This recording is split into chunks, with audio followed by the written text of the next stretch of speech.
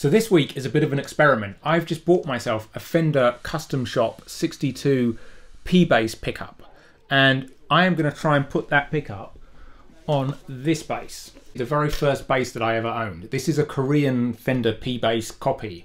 Uh, my parents bought this for me in 1994. It cost 150 pounds when it was brand brand new.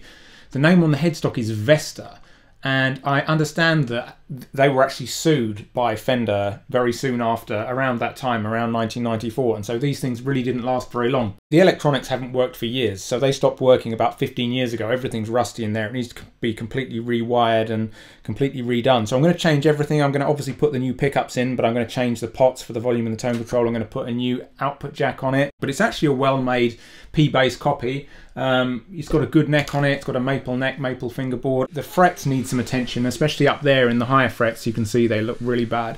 Um, but yeah, the the um, the tuning keys are all good. The machine heads are good.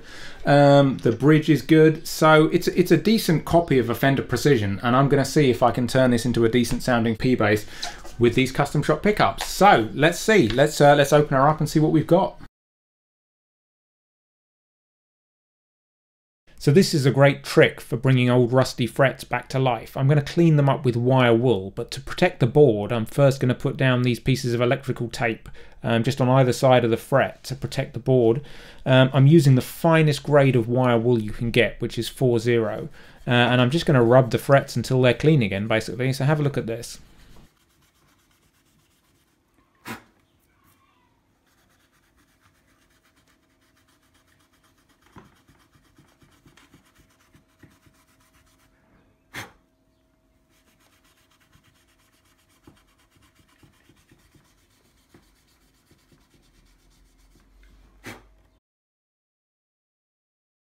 So having taken the strings off and cleaned up the frets with wire wool, I've then applied some fret polish to them. So I use this stuff, which is supposed to keep the, the frets looking shiny for longer. I've no idea if it works or not, to be honest, but can't hurt to put some on there.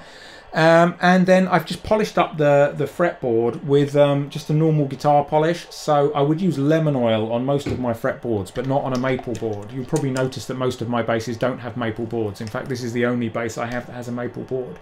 But I wouldn't use lemon oil on a maple board, so I just use normal guitar polish. And I've actually got the neck looking really, really good. You can see how shiny the frets are now compared to how they were, and the neck looks in really, really good shape for a bass that's over 25 years old.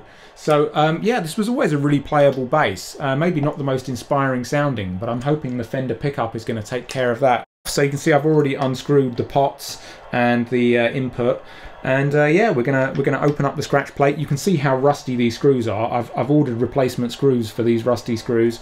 Um, and uh, yeah I'm guessing that probably the wires inside are all equally rusty but they're all going to get torn out. So all of the electric all of the electronics the pots the input the wires everything's coming out the pickups obviously. So let's open the scratch plate and see what we've got So the last time I opened up this scratch plate I was probably about 15 or 16 years old so it's been a long time since I've looked inside this bass. But let's take this off and see what we've got. Okay. It's actually not as bad as I thought it would be.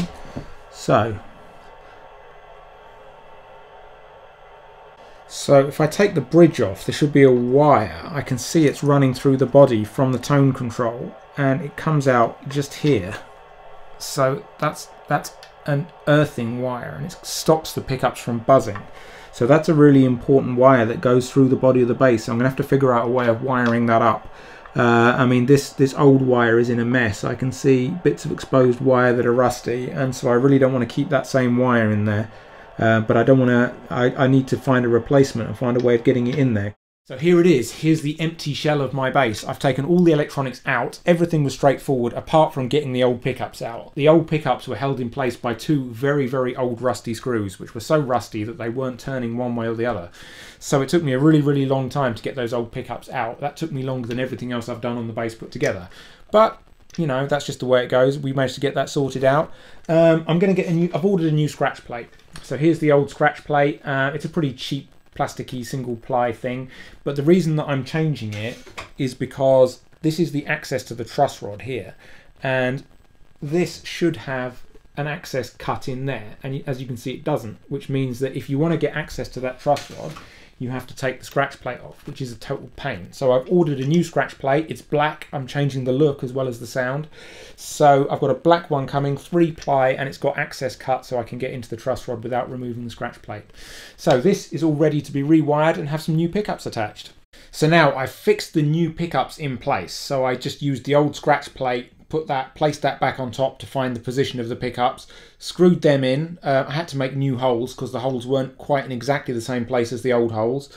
Um, and then this uh, is my new uh, volume and tone pots and the input there. And this all came you know already wired so very cheap and easy to buy those already wired up for you. So the only kind of remotely fiddly job that I've had to do is just uh, feed the the earth wire through the the hole that's made in the bass and through to the bridge and then I had to screw the bridge back on top of to hold the earth wire into place.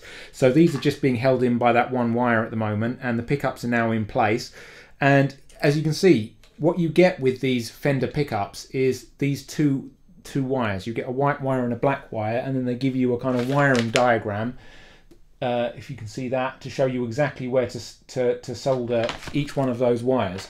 So it's, it's extremely easy to fit these pickups. It's really not difficult. Anyone can do this. You don't need to know anything about electronics or anything like that. It's literally as simple as once you've connected that earth wire, you've literally just got to solder these two wires um, you don't obviously have to change your volume and tone pots. I had to do that on this bass because it's a really, really old bass and they needed replacing.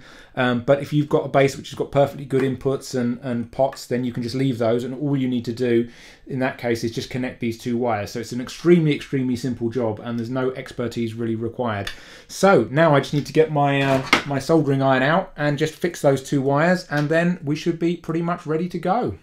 So here we are. Soldering those two wires was a very, very quick job, took about two minutes, and then it was a question of putting the scratch plate back on. So this is still the old scratch plate. I'm not going to wait for the new one to arrive before I get this thing going. Um, so yeah, the, the putting the volume and tone controls back on, and then the only job that I had to do, which took a bit of time, was setting the pickup heights. So all I've done so far is just done them with a ruler. Uh, so I've just measured them, um, but what I need to do now is actually play the bass and uh, yeah, just check and see if there's kind of an even sound between the four strings because just doing it with a ruler is not going to give you a perfect setting. You actually have to play the bass and figure it out just from listening to the, the strings. So anyway, this is a big moment because this is the first time I'm going to hear this bass played through an amp in well over 15 years. So let's see what it sounds like. So I'm playing it through my uh, Markbass Little Mark III. Not bad.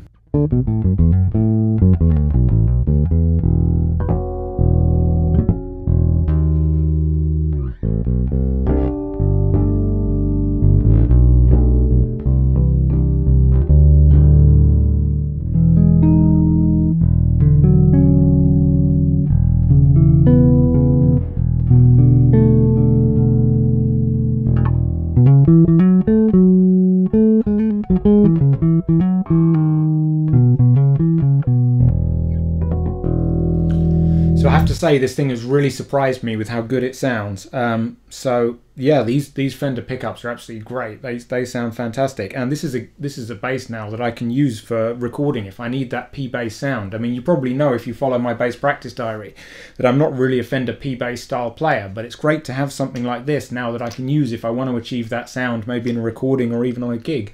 So uh, yeah, I'm very happy with the way these, this thing has turned out.